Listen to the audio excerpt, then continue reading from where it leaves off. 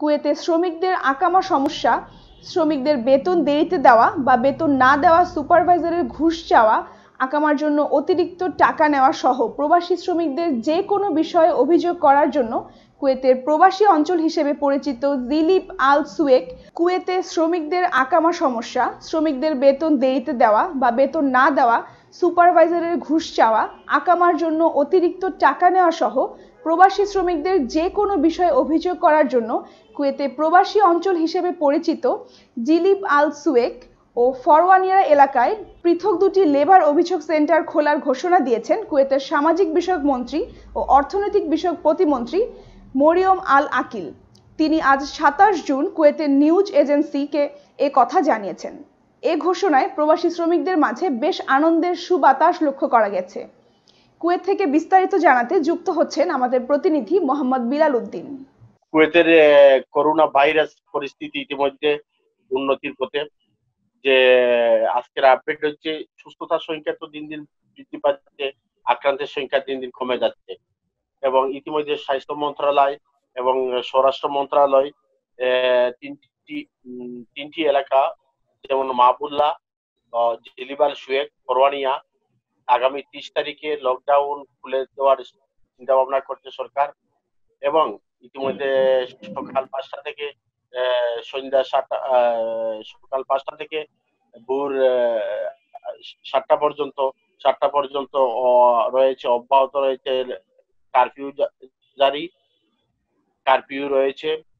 তবে বিশেষ করে ইতিমধ্যে মধ্যপ্রাচ্যের সবচেয়ে আশা করা যাচ্ছে, দেখা যাচ্ছে যে কুয়েতেই করোনা ভাইরাসের উন্নতির পথে ভাইরাসটি ইতিমধ্যে প্রায় শেষ হওয়ার পথে এবং সর্বশেষ একটি সুখবর হচ্ছে কুয়েতে বসবাসরত শ্রমিকদের জন্য ইতিমধ্যে সরকার একটি ঘোষণা করেছে। অভিযোগ কেন্দ্র, দুটি অভিযোগ কেন্দ্র নতুন ভাবে দুটি অভিযোগ কেন্দ্র খুলছে যাতে শ্রমিকদের সমস্যার সমাধানে, যাতে তারা নির্বিঘ্নে তাদের দুঃখ, দুর্দশা, সমস্যা ইতিমধ্যেগুলো জানাতে পারে সরকারকে, অভিযোগ করতে পারে। এজন্য কুয়েত সরকার যাদের আকামার সমস্যা, শ্রমিকদের আকামার সমস্যা, কোম্পানি বেতন দিচ্ছে না এবং সুপারভাইজারদেরকে ঘুষ দিতে হয়, অতিরিক্ত টাকা আকামা লাগাতে অতিরিক্ত টাকা নেওয়ার অভিযোগ সহ কুয়েত প্রবাসী অধ্যুষিত এলাকা, জিলিবাল, সুয়েক এবং ফরওয়ানিয়া এই দুটি এলাকাতে সরকার লেবারদের জন্য পৃথক দুটি অভিযোগ কেন্দ্র স্থাপনের উদ্যোগ নিয়েছে।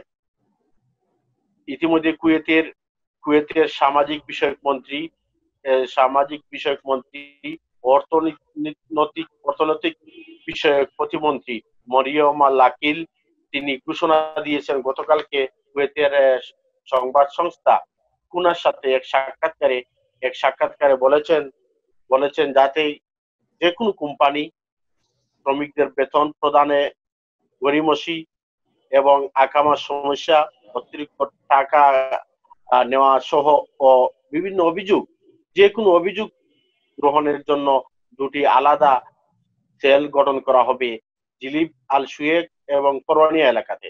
এজন্য কুয়েতে দেখা যাচ্ছে শ্রমিকদের মধ্যে একটা স্তুতি ফিরে এসেছে আনন্দের সুবাতাস বইতে শুরু করেছে এবং শ্রমিকরা অত্যন্ত খুশি, প্রবাসী শ্রমিকরা অত্যন্ত খুশি যাতে তাদের অভিযোগগুলো জানাতে পারে এবং এবং তাদের দুর্দশা লাঘবে সরকার আন্তরিক।